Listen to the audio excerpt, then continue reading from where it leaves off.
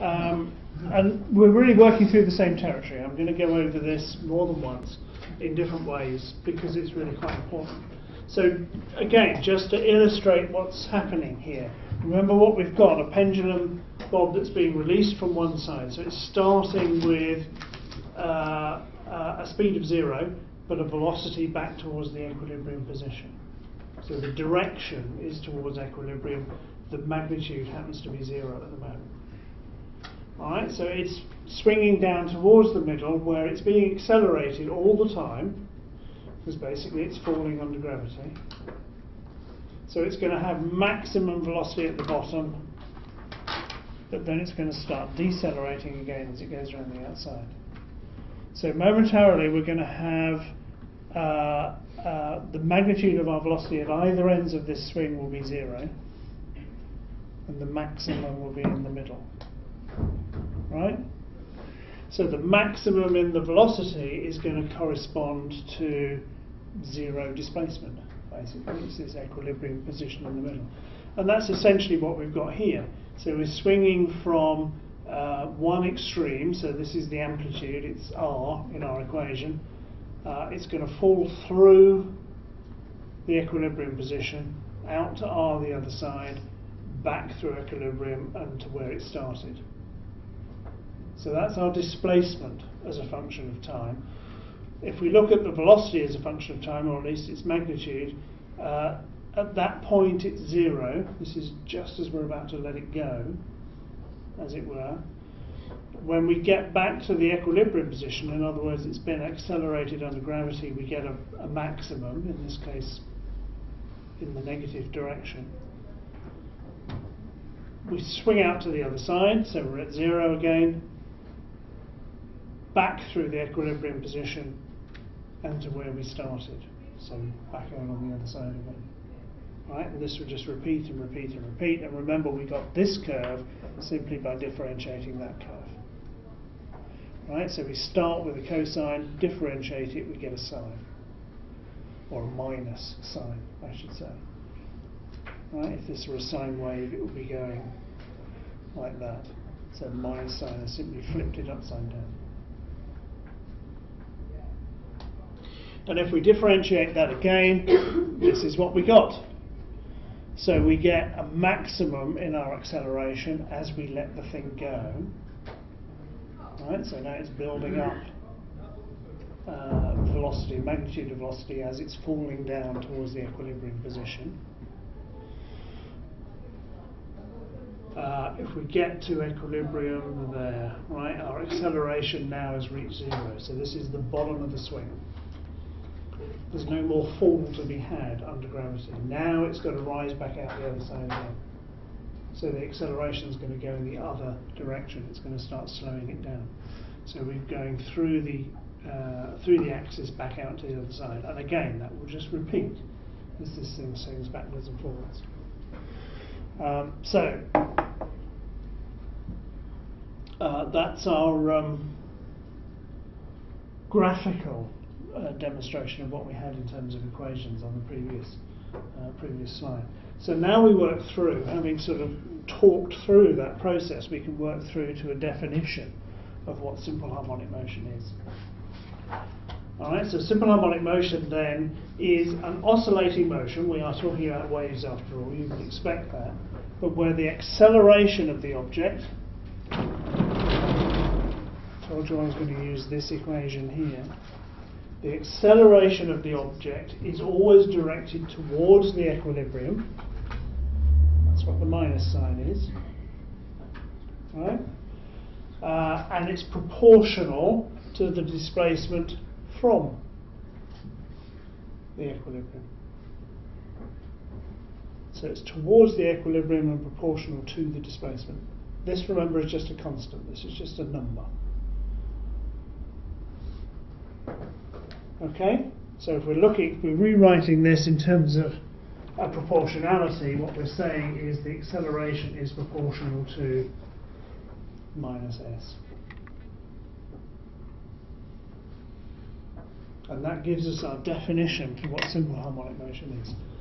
And as I say, it's purely in terms of this equation here. So this is the key thing. This is a definition you should try and remember.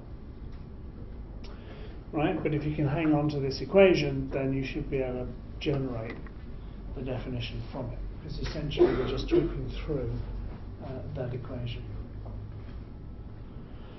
Okay, so here it is. Here's our generic equation for simple harmonic motion. The acceleration is minus, because it's back towards the equilibrium, but it's always going to have this form, minus some constant multiplied by the displacement. Now in the case we've looked at here, our constant was omega squared. Okay, so if we get a large value of a constant, we're having rapid acceleration, right? It just means our angular frequency is bigger. So it's going around faster, going through its oscillations faster. Um, which means the acceleration has got to be bigger. Must be, right? If you're making it swing backwards and forwards quicker, you've got to be accelerating it faster in order to achieve that. And the same applies to the swing of a pendulum, to oscillations of mass on a spring, whatever. Right? We will find in a little while that this constant in the case of a spring will essentially be the spring constant. It will be the constant of proportionality you get out of Hooke's law. So the stiffer the spring, the faster the oscillations. Exactly, intuitively, what you would expect to see. Uh, and we're going to be able to describe it, hopefully we're going to be able to describe it reasonably well uh, mathematically. Alright, so here's the same diagram that we had before, but with a little bit of a change to the um, uh, to its labeling and what I've put on there. So here's again y-axis, x-axis. Um, here's our amplitude. It's just the radius of the circle, but here it is over here. And again, we can look at the components of the motion of this point on our circle. Now, initially, we looked at components of the displacement, so its position, in other words. And we derived from that an equation for the acceleration. We simply differentiated it twice with respect to time. So there's no reason why we can't label this diagram all over again. Instead of the displacement, we can actually look at components of the acceleration. Right? Which is, remember, just minus omega squared times the displacement. So if we're resolving these things, our displacement is either going to be what we get on the y-axis or what we get on the x-axis, depending on which direction we want to look in. Okay, now the acceleration you'll notice is always, if you combine these two components, so this squared plus this squared equals that squared, right? Standard stuff that you've already done uh, in other modules. You'll notice it's always going to be directed towards the centre. Has to be.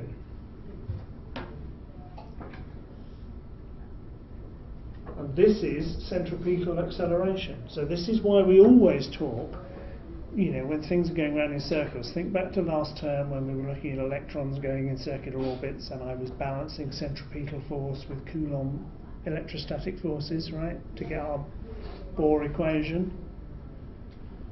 This is entirely consistent with that we are still going to be talking about something going around uniformly in a circle. It's not an electron in this case, it's a blob of Blu-Tack on a record turntable. But the same process holds. The acceleration is always going to be directed towards the centre. So this is a centripetal acceleration. And as I say, we can resolve this into um, uh, components if we want to. Okay, so if we know what the acceleration is, we can also talk about what the force must be. Because force is just mass times acceleration. So we can write down an equation now, instead of saying acceleration is minus omega squared s, we can say that force is minus m omega squared s.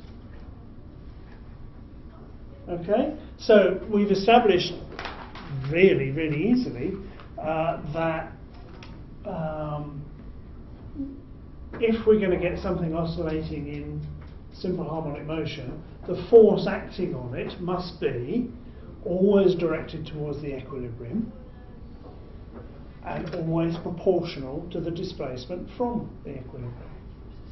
Alright, so in the case of our oscillating pendulum bob, the forces acting on it are due to gravity. Right, that's all it is.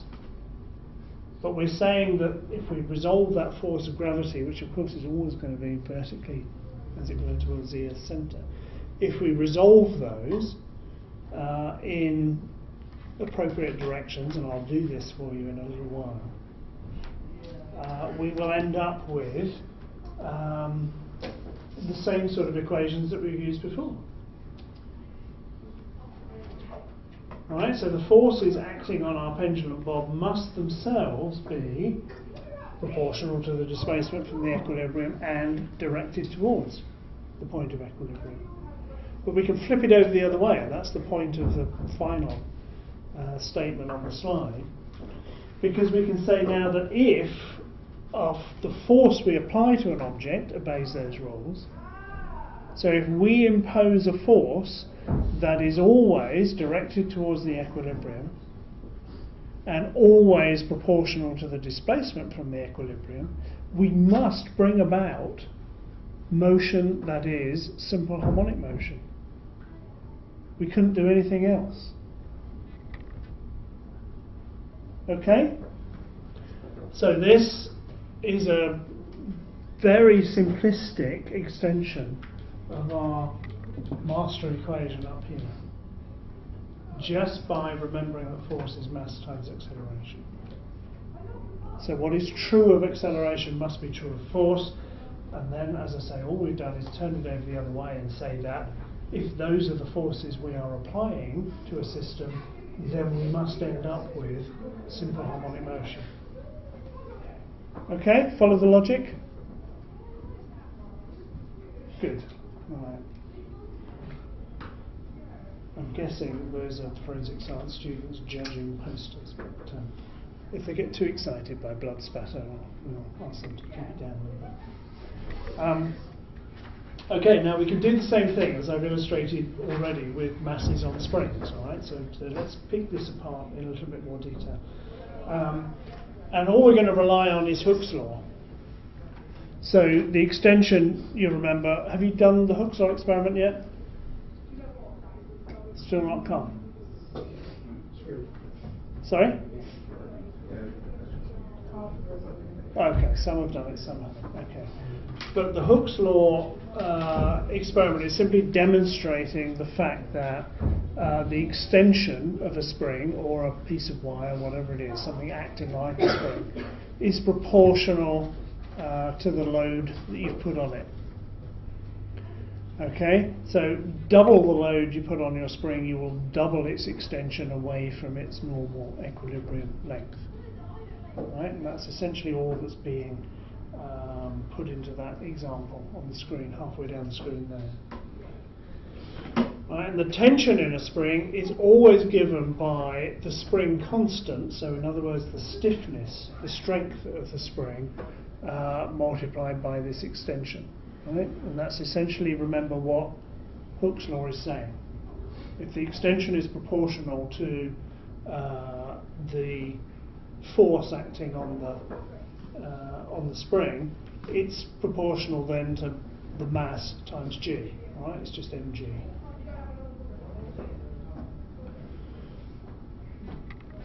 So the tension in the spring is, is basically mg. So mg is going to equal kx. In other words, uh, um, the extension x is proportional to mg.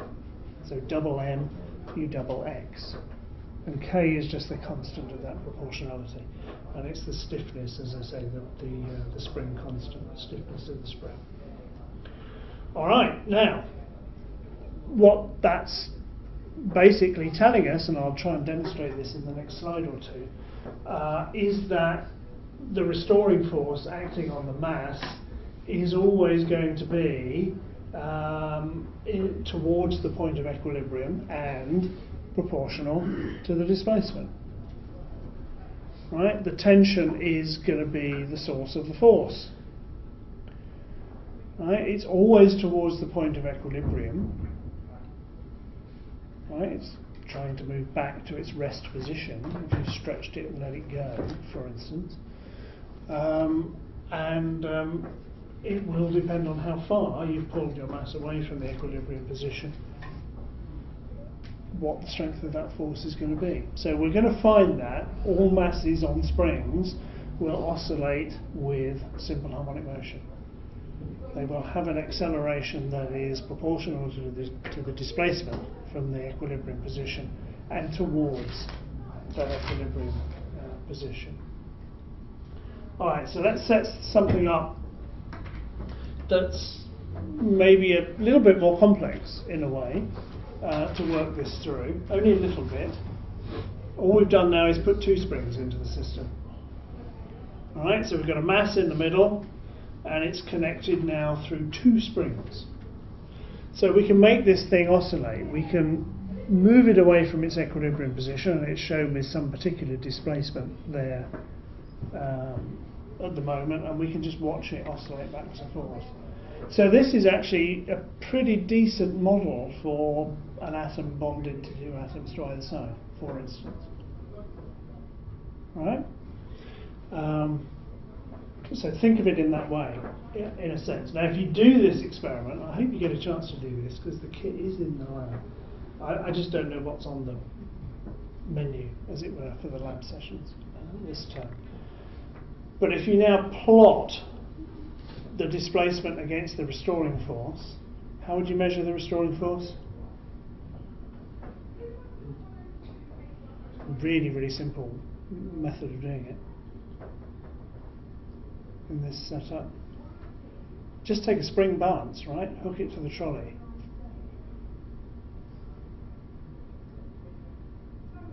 See what the reading is as you pull it away from its equilibrium position. Right? Dead easy. Um, so it's like, you know, hanging meat from one of the scales that you see in pictures of abattoirs and so on. Um, and that's essentially what we're measuring here. So this is the force that's had to be applied to move our mass in the middle, the trolley as it's labelled on that diagram, away from its equilibrium position. Right? And that force goes up the further away from equilibrium you get. So we go away from equilibrium by some distance or other, we have to put more force into the system to do that. And it's called a restoring force because whilst we've pulled it away from equilibrium, what the trolley, what the mass is trying to do is move back towards the equilibrium. So, right, so hence the word restoring. It is going towards the equilibrium point. If you let go, then our mass just oscillates backwards and forwards. And if we take all friction out of the system, it just moves backwards and forwards indefinitely. So we would end up then, as a function of time, if you plot the displacement, we get the sort of classic uh, sinusoidal variation. This is just showing uh, a fraction of a wavelength here. Right? This would go back up and round to get a full period, as it were. So we've got half a cycle, essentially, on that graph. All right, so let's break this down and get, hopefully, get something useful out of it. Um, let's, we've got two springs in this system, all right? So two spring constants. I'm going to label them very prosaically as K1 and K2. So we move our mass away from its equilibrium position, uh, and our uh, spring constants are going to be trying, our springs, sorry, are going to be trying to move the trolley back towards equilibrium. But one spring is working in one direction, the other spring is working in the other. We've compressed one where we stretch the other. Alright, so our combined spring constant is essentially going to be the combined effort of those two springs to move our mass back towards its equilibrium position. So the total restoring force then, it's still going to be um, in this generic form, still proportional to the displacement, right? It's the equation we had wherever it was, back there, right? Or at least derived from it. We've put the minus sign in because we know it's a restoring force. So our total restoring force then is just the sum of the action of those two springs. So if I write K1 plus K2 as a combined constant, these are just constants, remember, uh, and put that in as K, then if the force then would be minus K times S, then the acceleration simply requires that we divide that force by the mass, so the mass of the trolley. Because force is just mass times acceleration. So if that's true, then the acceleration has to be minus ks divided by whatever the mass of this object is. Right, which is exactly the same form as this master equation we had up here. It is still the case that the acceleration is directed towards the point of equilibrium and is proportional to the displacement. Everything else in there, the k and the m, are constants. They're not variables. Right? One is associated with the springs, their strength. The other one is just the mass of the trolley. So I can essentially say that what we've got up, written up there as k over m is playing the same role. It's just the constant of proportionality, right? That we've had omega squared in here. And the omega, remember, came out of this motion in a circle. Right? This is us borrowing bits of math from one setup and putting it into another. So if that's true, if k over m is just our constant of proportionality here, then it follows that omega squared must be just k over m. Right? They're equivalent one to another. And if that's true, uh, then given that we've now got omega, we can work out what a time period for this oscillation will be. So this is the time period, I don't know, let's switch to atoms. This is the time period for the atom in the middle to go through a complete cycle of oscillation. And all we need to know uh, is the mass, so the mass of the atom, and what the spring constant is. So this is the interatomic bonding that we're looking at in our experiment, say. So if we can measure that, we can actually determine what that is. It's a neat experiment, really. So we've got something very straightforward as, as an equation. So we've got a mass oscillating on the end of a spring between two springs, whatever you like, it doesn't matter. Um, and out of that, out of a very simple uh, process through to being able to establish that this is the case, we get to an equation at the bottom that says that we know what the time of the oscillation must be in terms of a property of the springs, so K, and a mass, because it's just following a simple harmonic motion. Okay. okay, so let's continue with the theme of springs, but this time we'll flip it through 90 degrees. excuse me, my voice is still croaky. A little bit more water, if you'll excuse me. Warm water with colouring. Um, we've got on the left there um, a mass causing an extension to our spring, uh, our spring's natural length. Okay, so that's its equilibrium position. Uh, and that's fine, right? Presumably we're all happy with that. We have a force acting on the mass, which is mass times g, uh, and that's balanced, if this mass isn't moving, uh, that's balanced by the tension in the spring. And the tension in the spring, Hooke's law, remember, uh, is just going to be the spring constant multiplied by whatever the extension is.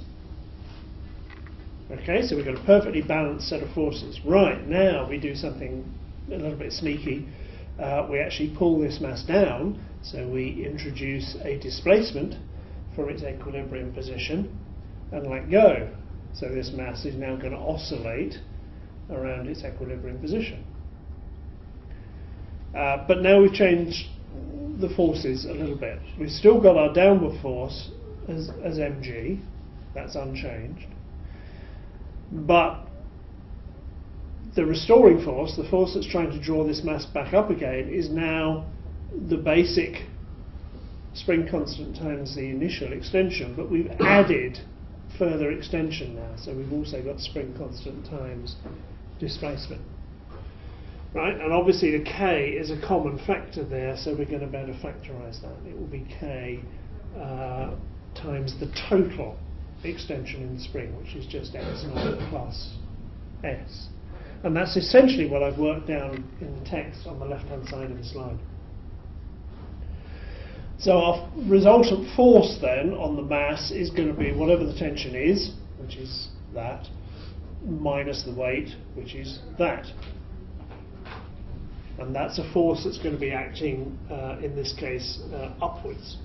So again, if I jumble all of this around, cancelling things out, whatever, factorising, I end up, at, excuse me, again, with a restoring force, which is minus uh, k times the displacement. Now remember our extension to the definition of simple harmonic motion. If the acceleration is always towards the equilibrium and proportional to the displacement, then the force must be correspondingly towards the point of equilibrium and proportional to the displacement because force is just mass times acceleration. Yeah? So if that is true, then this also is going to oscillate in simple harmonic motion. Must do, because the forces um, acting on it are in the form that are required for simple harmonic motion. So the acceleration must be, all we'd have to do is to divide both sides by m, uh, and we get to acceleration.